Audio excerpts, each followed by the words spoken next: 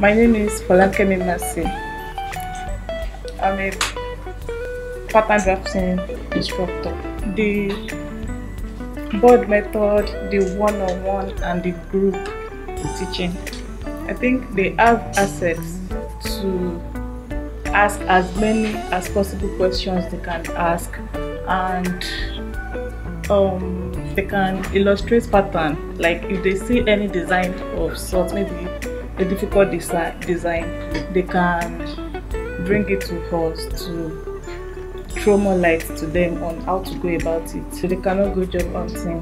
At least they are dependent because that is what we are training them on.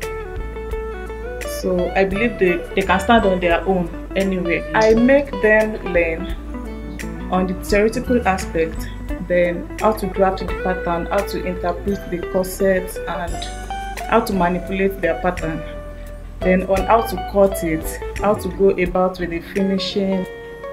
They've learned a lot of things because the ready to wear collections we are making is not just on basic designs.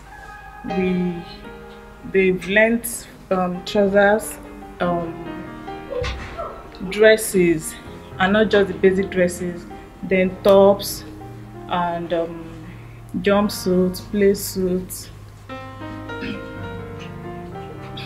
I think that's that's it. And skirts. They are competent they are capable